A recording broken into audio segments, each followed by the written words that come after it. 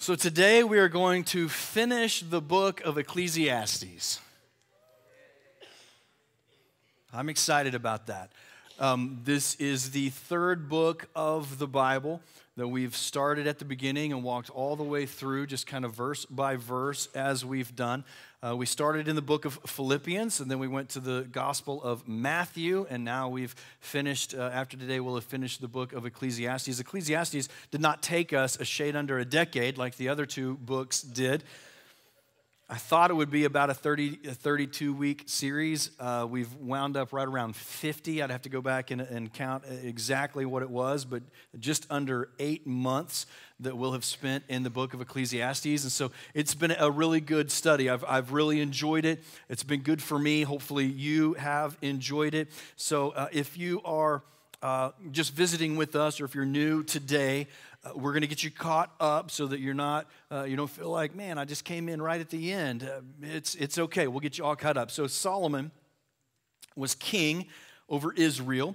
And uh, Solomon's goal, his purpose, was to prove that any pursuit that is outside of or in place of the pursuit of God would leave you feeling worthless and meaningless, and at the end of your life, feeling like you had dedicated your life to the wrong things, and therefore he wanted to rule it meaningless, worthless. This, this pursuit is worthless, it's meaningless. And so that's what he was trying to do. And he set out, he, he kind of developed the scientific method. We can see the, the steps of the scientific method throughout the entire book of Ecclesiastes. So he did it systematically. And the Bible tells us that Solomon was the wisest man who ever lived and the wisest man who would ever live. And the Bible tells us that even through these pursuits, his wisdom never left him. So he was applying his wisdom to these different pursuits. And because of his wealth, because of his fame, because of the fact that he was king,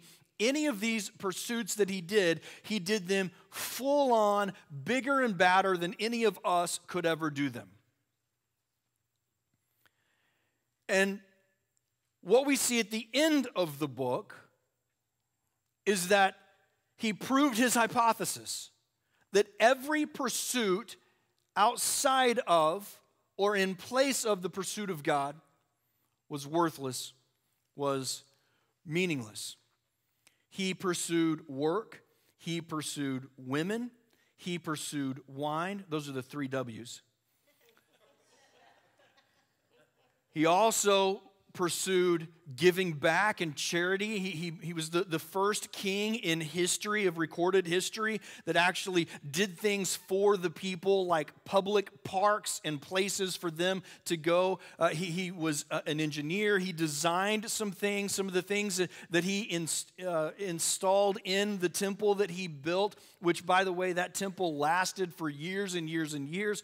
Uh, some of those things were the first times ever in recorded history that we have that they were used and so he was inventing things to use. And then there were some things that he did, like a, a water system to get more water into the city that were still being used when the Romans conquered them, that were still being used when Jesus was walking around ministering in the city. So we're talking a thousand years later uh, that, that this was taking place. And these were all things that he designed, that he built, that he did. So he, he dedicated himself to all all these different pursuits. And when he did, they left him feeling the same way that he said that they would leave us feeling. Now, here's why this is significant the pursuits that Solomon dedicated himself toward are the same pursuits that we see people chasing after today. So instead of pursuing God, instead of having as your sole purpose to know God, to discover God, to experience His presence, to, to, to allow Him to be the one that directs your steps as He is creator, He gives purpose. Instead of that, people are choosing to pursue other things, and we see that in the world, we also see that in the church. And so, this is important for us to have this understanding that, what, that our purpose should be derived from our pursuit of God. And then as we pursue God, the more we know Him, the more we understand what He wants us to do, who He wants us to be. And the more we do that, the more it draws us closer to Him. One of the examples that we have in the life of Solomon is that as he dedicated his life to pursue these other things, they drew him away from God. And that's the exact same thing that happens right now. So there's a lot of a lot of uh, teachings, a lot of books, a lot of podcasts, a lot of things out there that are even written by Christian authors, by pastors, and they're, they're not about how to find God or how to apply your knowledge of God to life or, or how, to, how to allow God to direct your steps. They're all about you can do this and you can achieve greatness and you can do this and, and three steps to finding you, whatever you want to find. And they're all about you doing you. And this is opposite of the book of Ecclesiastes and the wisdom of Solomon. He says the best thing that you can do is to dedicate your life to the pursuit of God. And the more you know God, the, it draws you close to Him instead of drawing you further away from Him. And the closer you draw to Him, the more you understand the reason that He made you, the purpose that He's giving you, the things that He wants you to do as you walk throughout your everyday life. So, if you're wandering around life wondering, what is my purpose? What is it that I should do? The answer that Solomon would give would be pursue God. Know God more, find God more, gain a deeper understanding of who He is. And as you see Him, you will find yourself. Then, as he's, after he's presented all of that information, then he, he sets his mind in this book that he's writing to not just present the information, but also to, to help us be able to apply the information. So he begins telling us some things that might deter us or prevent us altogether from the pursuit of God. He talks about how just being foolish can prevent us or deter us. He, he talks about how fear can prevent us or deter us altogether from pursuing God. He talks about anxiety and how anxiety can prevent us or deter us from pursuing God. And, and he doesn't stop there. He reminds us that we are not our own, that we have a creator, and that our lives should be directed by our creator. And he does this to help us combat any feelings that we might have that we should get what we want, that we should, should that God should be pursuing us instead of us pursuing God. He encourages us not to put off our pursuit of God, but to go all in, to do it now, and to never stop. And he reminds us that the only way to avoid the trap of having lived a meaningless life is to devote yourself to something that is bigger than you, to the pursuit of God, committing yourself to do what He puts in front of you to do, because God gives significance to our actions both on earth and in eternity.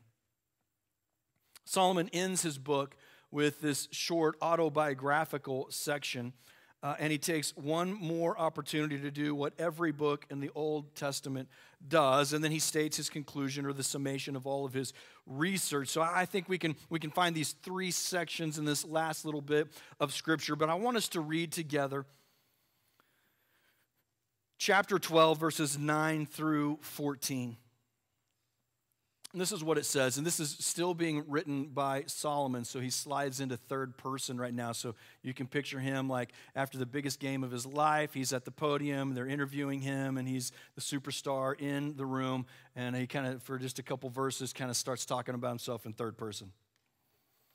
He says, Not only was the teacher wise, but also he imparted knowledge to the people. He pondered and searched out and set in order many proverbs. The teacher searched for, to find just the right words, and what he wrote was upright and true. The words of the wise are like goads, their collective sayings like firmly embedded nails given by one shepherd. Be warned, my son, of anything in addition to them, of making many books there is no end, and much study wearies the body. Now, all has been heard. Here's the conclusion of the matter Fear God and keep his commandments, for this is the whole duty of man. For God will bring every deed into judgment, including every hidden thing, whether it is good or evil. Again, I think we can break this passage of scripture into three categories. I think each category teaches us some things that we need to know about our pursuit of God. And so here is the first category. The first category is the example the example. This is the part of the passage where Solomon breaks himself into third person. He starts talking about himself as the author. This is autobiographical. Uh, he was very open with what he saw and what he experienced throughout the book. I think his goal uh, throughout th- this entire writing has been to offer us as readers a pattern to follow as we learn from his mistakes what not to do and the knowledge that he gained through applying his wisdom to those mistakes, what to do. So Solomon gives us this example, and then he draws our attention towards it as he ends the book by saying, Listen, I'm going to talk to you about me for a little bit. I've written this as an example for you to follow. I've been very open about my mistakes. I've been very open about the things that I've seen that have happened. I've been very open about what I've learned from these. And so you can learn from the example what not to do, and you can learn from the example what to do. And the entire book is a record, an example of this, but I think in this, he points out three things. Again, let, us read verses 9 and 10. Not only was the teacher wise, but he also imparted knowledge to the people. He pondered and searched out and set in order many proverbs. The teacher searched to find just the right words, and what he wrote was upright and true. So here's the first part that he draws our attention to in this passage he was wise. He was wise. Not only was the teacher wise, now, the wisdom of Solomon, that's what he's known for. That's his calling card, right? And so he's saying, listen, you can chalk all of this up to, well, sure, says the wisest man ever to live, and then dismiss it. And he's saying, no, no, no, don't do that. There's some examples to follow. Not only is he wise, but he did some other things as well. But we can't discount the fact that he's acknowledging his wisdom. He was wise. In our pursuit of God, the more we know about God, the more wisdom we will be able to apply to our everyday life. Because God will speak to us, God will speak through us. He will give us, He will impart the wisdom to us. Now, in 1 Kings chapter 3, uh, we read the story of Solomon asking God for wisdom. God appears to him in a dream. Solomon is a young king. He's just been named king. In fact, he wasn't even the first choice for king. He's already had two older brothers try to make themselves king. And then before a third one could do that, David, still living, makes Solomon sort of this co regent. So everyone knows that David is the king until David dies. But until that happens, Solomon is also king. And so there's this weird limbo about a two year period where Solomon was king and David was king. And he did that so that everyone would know this is the king. In this process, the Lord appears to Solomon and says, Listen, what is it that you want? Ask me for anything, I will give it to you. How can I help you be the king of Israel? And Solomon, from a young age, says, Listen, I'm just a kid. I don't know what to do. I don't know how to lead these people. I don't know what's expected of me. So, if you would just give me wisdom to help me be a good king, give me wisdom to help me know what I should do, I mean, that's what I'm going to ask. God says, Wow, that's amazing. You know, you could have asked for power, you could have asked for glory, you could have asked for riches, you could have asked for the death of your enemies, but you didn't. You asked for wisdom to lead well. And so I'm going to give you wisdom, but I'm, I'm not just going to give you wisdom, I'm going to make you the wisest person ever. And because you did this, it pleases me. I'm also going to make you famous. I'm also going to give you wealth. I'm also going to give you the death of your enemies. I'm also going to give you everything else that you didn't ask for. And this is where we read this story in 1 Kings 3. Now, it's easy for us to write this off as, as a one time thing. Like, oh, yeah, well, sure, God gave him wisdom, and we see that in the Bible. Just like if we're talking about Samson, it'd be easy to, to write that off as a one time thing. Oh, sure, God made Samson strong, he gave him strength. But that'll never happen again. And we can take this approach with Solomon. Oh, yeah, yeah, God made Solomon wise. That'll never happen again. No, the whole point of this, the whole story of this, is that God gives wisdom, that it's His to give. And the New Testament tells us that if you lack wisdom, you can ask and that He gives it freely. Now, he may not make you the wisest person ever to live because that's already been done. That was the one time thing. But it doesn't mean that he withholds wisdom. He gives wisdom and he gives wisdom freely. And the example that Solomon is pointing us to in the end of this book is the teacher was wise. You can be wise. As you pursue God, he will give you wisdom.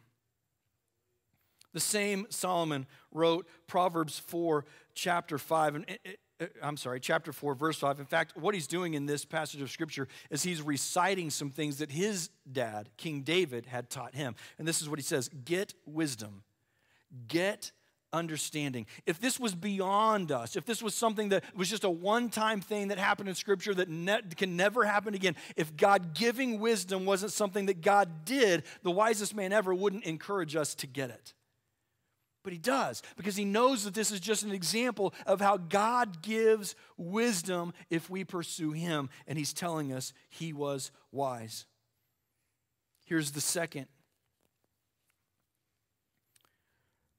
example he shared what he knew.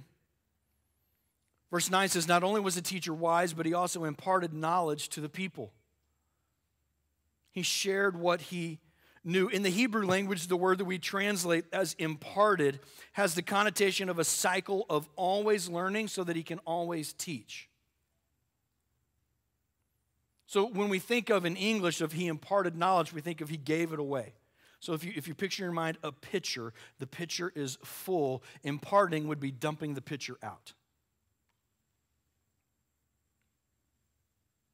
That's how it is in English. But in the Hebrew, this particular word is not dumping out.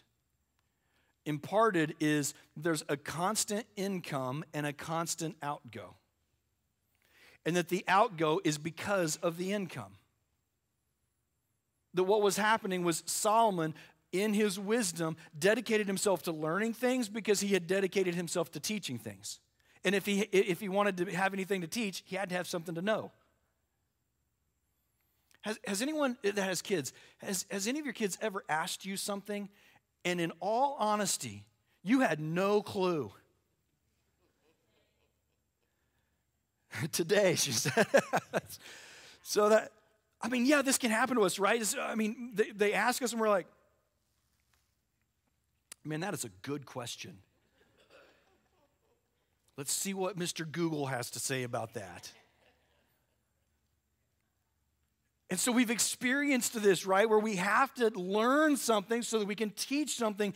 And, Solomon wasn't waiting for that moment to happen. He was constantly absorbing knowledge, constantly growing in knowledge because he wanted to constantly be teaching people. He, he, didn't just, he didn't just learn and keep it to himself. His whole goal in learning was to impart knowledge to the people. in, in Christian circles, we call this discipleship. There's a, a, a popular model for this in Christianity. Uh, it's called the Barnabas, Saul, Timothy model. You can substitute Saul for Paul because they're the same person. Uh, let's, let's read about that. In Acts chapter 11, starting in verse 25, it says, Then Barnabas went to Tarsus to look for Saul. So you have Barnabas. He's this figure in the New Testament. Uh, he's, he's known as a, a, man of, of peace. And so uh, he goes to Tarsus, especially on a mission. He was doing something there. He didn't just travel, wasn't sightseeing. He went to look for Saul.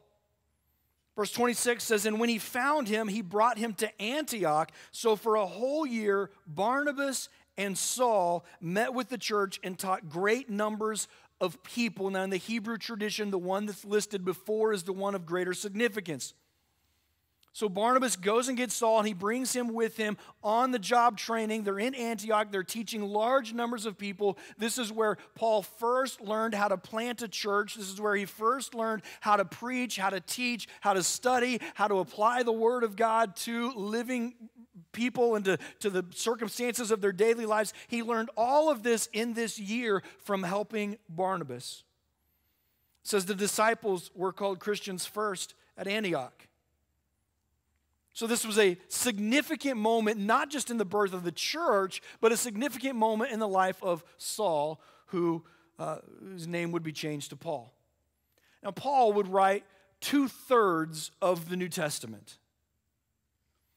He would become the greatest missionary the world had ever seen.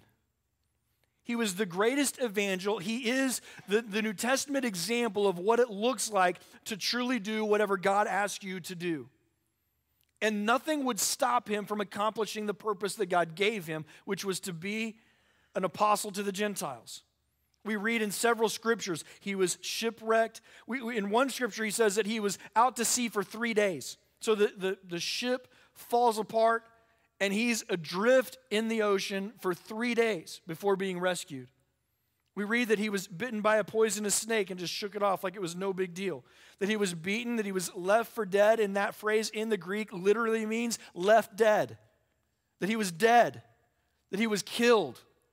And that God said, I'm sorry, son, you don't get to be dead right now. I got things for you to do, and raised him up, and he just walked on his merry way. And none of that would have happened if Barnabas didn't go to him and say, Listen, come on. You got some things you need to know, and I got things I need to teach you. And then just five chapters later, we read in Acts chapter 16. I'm sorry, my son sat on my headset this morning and it is all kinds of Jill flirted. It's all cattywampus. Those are two Oklahoma terms. Yeah, everybody's with me. Just five chapters after Barnabas goes and finds Saul, who becomes Paul, and takes him with him, this is what we read. Paul came to Derbe and then to Lystra, where a disciple named Timothy lived, whose mother was a Jewish, whose mother was Jewish and a believer, but whose father was a Greek. The believers at Lystra and Iconium spoke well of him. Paul wanted to take him along on the journey, so he circumcised him because of the Jews who lived in that area, for they all knew that his father was a Greek. And they traveled from town to town. They delivered the decisions reached by the apostles and elders in Jerusalem for the people to obey, so the churches were strengthened in the faith and grew daily in numbers. So what we see is that, that what happened to Paul was the same model that Paul followed. So Barnabas goes and gets Paul, trains him in the ministry, on the job training. Come with me, help me do what we do. And then just five chapters later, we've got Paul doing the same thing. He meets Timothy. Timothy was a young man, and he says that he wanted to take him along, and he did. And so he takes Timothy, and they go, they plant more churches, they encourage more believers. And then what ends up happening in this is that Paul installs Timothy as the pastor of the church in Ephesus. And so, because of this model, because Barnabas went and got Paul, Paul wrote two thirds of the New Testament. Because Paul went and got Timothy, we have the letters of 1st and 2nd Timothy, the book of Ephesians, and John even writes to the church of Ephesians in the book of Revelation. So, so, four of the books in the Bible are related to this event where Paul takes Timothy with him. Now, you never know what someone else is going to do. You never know if you teach someone something, if you show them something, if you disciple them in the ways of the Lord, you never know what's going to happen because of them. But you know that God will and can do something through them. And this was the model that Solomon was proposing. He was saying, Listen, I was always learning so I could always be teaching the things that we know they can't die with us. There has to be someone that we're raising up, someone that we're feeding into, someone that we're discipling. And discipleship isn't just, okay, well, let's look at the book of Acts. Discipleship is, let me tell you something that I figured out that works real well. Discipleship can just be, you know, there's a tool for that, right? Discipleship can just be this is how we use our daily skills in a way that honors God. It doesn't have to be teaching someone, well, in the Greek, this is what it says. It's just showing someone what you know and helping them gain the knowledge that you have gained so that they can become better in their pursuit of what God has put in front of them. Here's the, the third example. I still have other points. I've got to get through this. Here's the third example that, that Solomon points out when he's talking about himself as an example. He watched his mouth. Yeah, especially during the holidays. It says he searched for just the right words. Solomon knew that words matter. He knew that what we say matters, and not just what we say, how we say what we say. Which is why he searched for just the right words. He could have just said, Ecclesiastes chapter 1, I'm wiser than you because God made it that way. Chapter 2, don't be dumb. Chapter 3, I saw that, now y'all stop it. Chapter 4, you should be wiser than that by now. Now, come on, y'all. And seriously, if he wrote that way, we would all be like, oh, I know, Solomon, I'm sorry. But that's not how he did it. The Bible says he searched for just the right words because he knew that he had to explain things to us in a way that we would understand. He knew that he had to explain things to us in a way that would transcend time so that all people from any background, from any era, could read these words and, and apply them to their life. So he searched for just the right words. The second category that we see is the foreshadow. This is in verses 11 and 12, and this is what every book in the Old Testament does. It says, The words of the wise are like goads, their collected sayings like firmly embedded nails given by one shepherd. Be warned, my son, of anything in addition to them. Of making many books, there is no end, and much study wearies the body.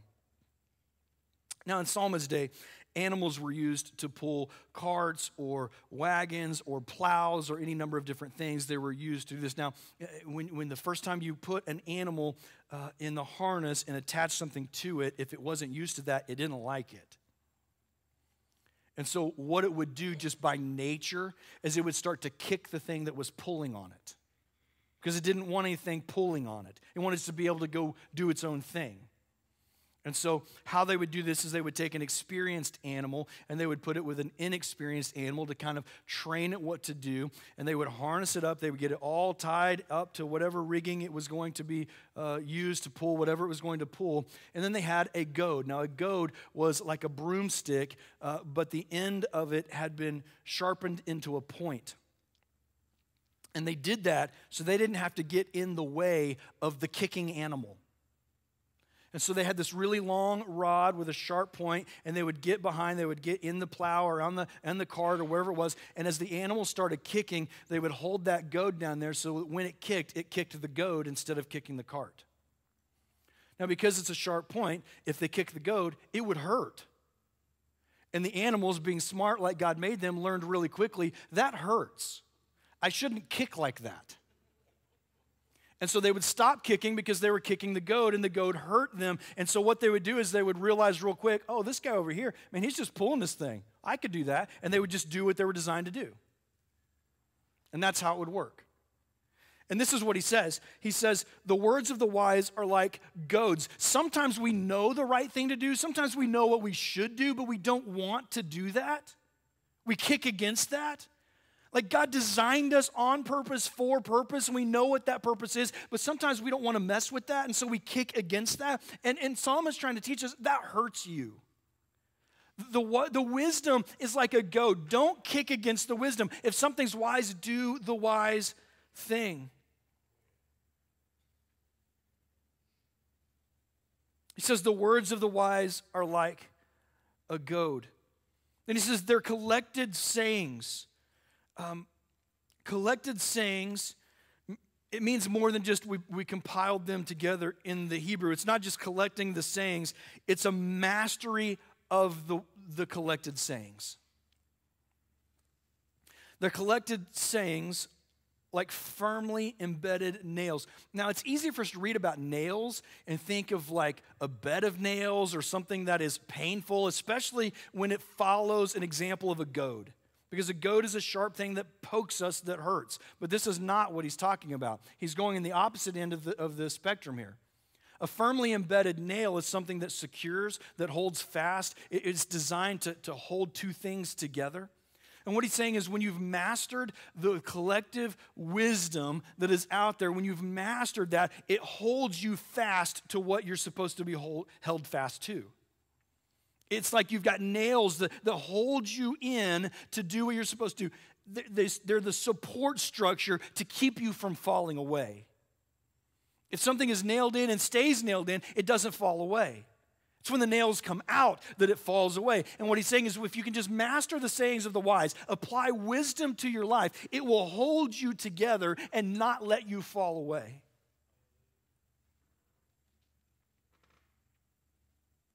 But the main point of these two verses is that word shepherd.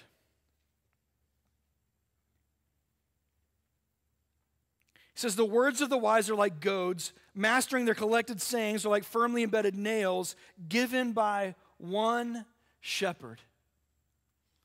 In this translation that's on our screen, um, the word shepherd is not capitalized. In most translations, it is. And that's because this is the foreshadowing of Solomon to point us toward Jesus. The entire Old Testament points toward Jesus. And this is Solomon saying, listen, the words that are wise, they're not just my words. God is speaking to you in this moment. And the wisdom that God is trying to get you to understand, it's all pointing you towards Jesus. And this will be what holds you to Him. Operating in the wisdom that He gives you will be what holds you to Him. In John chapter 10, Jesus Himself says this He says, I am the good shepherd. I know my sheep, and my sheep know me. This was a very biblical, biblically literate people to whom Jesus was speaking. And so when he got up there and he said, I am the good shepherd, they would have automatically thought of what Solomon was talking about when he said, Hey, listen, there's going to be some nails, the wisdom of, of, if you master the wisdom of everyone that's come before you, there's going to be some nails that hold you to the shepherd. They would have automatically connected all of those pieces, and they, they would have been, now, wait a minute, you're claiming to be God because that's capitalized. That's talking about God. And this is Jesus saying, hey, I'm God. And if you belong to me, you know my voice. And I know yours. There's some, some words that you're going to hear, words you're going to know. In fact, if we if we read, if we back up in if we back up in John to chapter 1, it says this, in the beginning was the word. Notice how word is capitalized. And the word was with God, and the word was God. He was with God in the beginning.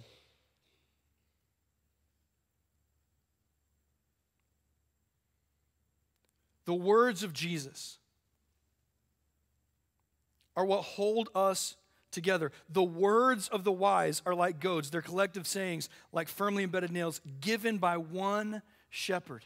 These words are given by one shepherd. The nails that hold us in are given by one shepherd. Jesus is saying, listen, this, this word, the words you're going to hear, they're going to draw you in. Why? Because He is the word. He is the word that draws us in. He is the word that holds us to himself. He is the one who gives us wisdom. He is the one who speaks life. He is the one who speaks the, the direction to us. The Bible says that when we're attuned to him, that he will be as one standing behind, saying, This is the way, walk in it. He is that word that gives us the direction, and he does that through wisdom. Here's the third category that we see in this passage of Scripture it's the conclusion. We've seen the example, we've seen the foreshadowing, and now we see the conclusion. this is the part where he sums up all of his research with the ultimate now what? He's trying to answer the question for us what do we do with all of the information that he's given us? In chapter 12, verses 13 and 14, he says, Now all has been heard. Here is the conclusion of the matter fear God and keep his commandments, for this is the duty of all mankind. For God will bring every deed into judgment, whether it is good or evil. At first reading, this can uh, kind of come off as a threat. Keep his commands, or else, because God is judging you. Always judging you.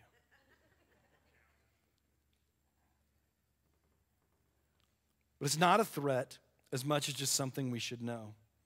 Jesus says it a different way, and it's much less threatening. And so I'm going to transition us to the way that Jesus says it so we can see how it really looks. In John chapter 14, verse 23, Jesus replied, Anyone who loves me will obey my teaching. So he's saying the same thing. I mean, Solomon says, here's the conclusion of the matter obey his commands. And remember that he'll bring into an account everything you do, even if it's bad. Jesus says it this way Anyone who loves me will obey my teaching. My Father will love them, and, and we will come to them and make our home with them. Anyone who does not love me will not obey my teaching. These words you hear are not my own, they belong to the Father who sent me. All this I have spoken while still with you. But the advocate, the Holy Spirit, whom the Father will send in my name, will teach you all things and will remind you of everything I have said to you. Peace I leave with you, my peace I give you. I do not give to you as the world gives. Do not let your hearts be troubled and do not be afraid the way that he ends this is, is by giving us peace and telling us, you, listen, you don't have to be afraid. There's just two simple options. Either you love me and obey, or you don't love me and don't obey. And if you wonder where you fall on that, he would say it's simple. If you obey, you love me. If you don't obey, you don't love me. So he's just trying to make it as easy as it can be. And he's saying, listen, if you love me, then you're going to obey my teachings. And when you do that, I will come and my Father will come and we will make our home with you and you will know us and we will be known by you. But if you don't, then you won't know us. He's, he's saying everything that, that Solomon said, just in a nicer way. Solomon's saying, obey his commands and remember that he's going to bring into an account everything. And Jesus is saying, listen, if you love me, you don't have to be afraid. If you'll just love me, you'll do what I say because you love me. And you can live in peace and you don't have to worry and you don't have to be afraid and, you, you won't have, have to experience that because you are operating out of your love. And that's ultimately exactly what Solomon wants us to do. What the whole book of Ecclesiastes is about is not pursue God because you have to, pursue God because you're afraid of what happens if you don't, pursue God because you just don't want to be the fool. The whole book is about pursue God because you love Him and because you know that He loves you. And the more you fall in love with Him and experience His love for you, the more wisdom you get, the more perspective you have, the less fear you have, the less anxiety will impact you, the more strength and boldness you have to just do what He's put in front of you to do because you understand that your purpose has been given you by your Creator. And out of love, you want to accomplish the things that He's asked you to do. Out of love, you want to obey His commandments. And it's all out of love. And this is the wisdom of Solomon. And this is the calling of our Savior. Will you stand with me? I'm going to close the service in prayer.